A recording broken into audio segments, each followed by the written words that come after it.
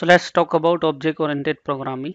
So object-oriented programming is a design philosophy and it uses a different set of programming languages than old procedural programming languages like C, Pascal, etc.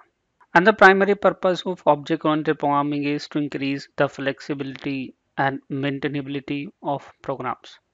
So somehow using the OOPS, you will learn about how we can increase a program flexibility and maintainability.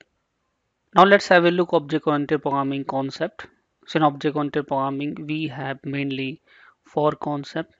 So first one is abstraction, second one is encapsulation, third one is inheritance, and fourth one is polymorphism. So let's start with abstraction. So abstraction is a mechanism to provide the details about the essential features without describing the background details. It means you don't need to tell about all the details what is happening in background. You have to just tell about the essential features. For example, when you log in into a website, so you enter your user ID and password, which is the essential information for login. But here you don't know about the background details like what is happening with your user ID and password and how it gets verified. All is abstracted from you. So this is about abstraction. The next is encapsulation. So encapsulation is a mechanism of binding the object state. You can say fields and behavior like methods together into a single unit. And encapsulation is mainly achieved by creating classes. So with the help of classes, we can achieve the encapsulation. So a class is a kind of container or capsule which encapsulate a set of fields and methods. So when you're creating a class in any language like C Sharp, Java, so we are achieving the encapsulation because a class is having the fields and the methods. So this is a diagram you can see. So when we create a class, we create their fields, we create their methods. So these two things are combining together making a class. The next we have inheritance. So inheritance is a mechanism of acquiring the features and behavior of a class by another class. So the class whose members are inherited is called the base class and the class that inherits those members is called the derived class. So let's see another example. Suppose class B is inheriting the members of class A. In this case, class A will called as parent class or you can see the base class and the class B is called as the derived class or you can say the child class. Next is here polymorphism. So polymorphism is the ability of an object to behave in multiple ways. So for example, we have a smartphone. So this is a single object, but it can be used for multi-purpose. Like you can use it for making calls, listening music, sending emails, taking pictures. So this is the example of the polymorphism. And polymorphisms are two types, static polymorphism and the dynamic polymorphism. So here the static polymorphism you can achieve using the method overloading and operator overloading. And the dynamic polymorphism you can achieve with the of method overriding. So this is about the object-oriented programming features you have learned. So let's start with class and object. So class is a user-defined data structure that contains data members like fields, properties, and member functions. Like we have methods, constructors, and destructors. And class is a reference type and act as a template for an object. Now let's discuss about the object as well. So object is a representative of the class and it allocates the memory to its class members. So whatever the the, the fields we have defined in a class, so memory allocation here will be done with the the object here. So even you can think the object as an real world entity having attributes like fields we have within a class and behaviors like methods we have within a class. For example, we have a student object. So a student object can have attributes like name, address and contact number and a student can perform the activities like attending classes, giving exam, etc. So for creating the object, so we have to create a student class with all the attributes like name, address and contact number.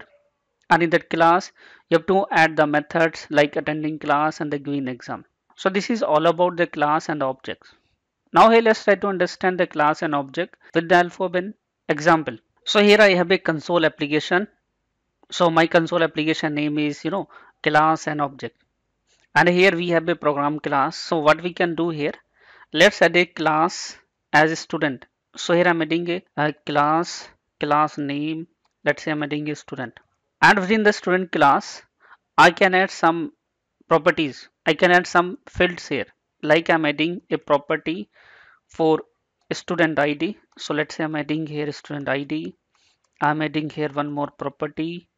Let's say student name. I'm adding here one more property. Let's say student address. So these are the the fields I have defined within my class. And we can add define here some methods as well like behaviors.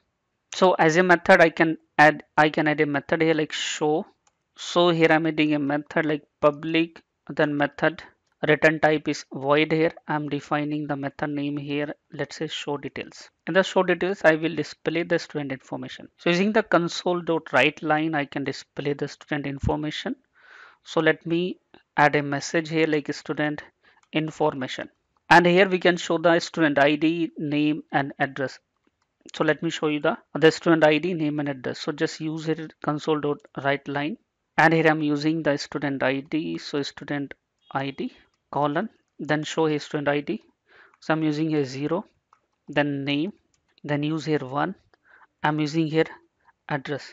So in address I'm using here 2 then I specify the value for like say student ID comma name comma address. So all the information I'm going to display here. And guys here all the properties all the fields are here public so when we'll be create this student class object, we can access all the things using the student class object because access modifier is public. About the access modifier, we will discuss in the next session. So let's create the object of the student class. So I'm going to create the object for the student class. So just use class name and your object name, whatever you want to create. Let's say I'm using here st equal to new student. So here I'm just calling the student class default constructor but here if you will see we don't have any default constructor. So default constructor here provided by the compiler itself on the runtime. So we don't need to create here the default constructor. If you will create by yourself so it will be used the constructor which you have created. But if you are not creating so compiler will provide the constructor for our student class. So right now i'm not defining any constructor. So let's access all the public members. So i can access here student id i'm defining here one I'm using here the student name. I'm defining the student name, let's say Shailendra. I'm defining here a student address. I'm defining the student address as let's say Noida. So now all the information we can show here with the help of the method show details. So just use st and then call the method show details. And here to prevent the the console window, just use a console to read key so that it will not be closed automatically. That's it. So here we have a student as a class and st is a object. So this is my object here and this is my class. So this is the class. And these are the fields here. And if you're talking about these are the methods we have defined. Now just run the application and see how we are getting the output. So you can see here as a student information i'm getting the student id as one name shailendra and address noida. So this is the simplest example. This is the simple example of class and object we have created using the c sharp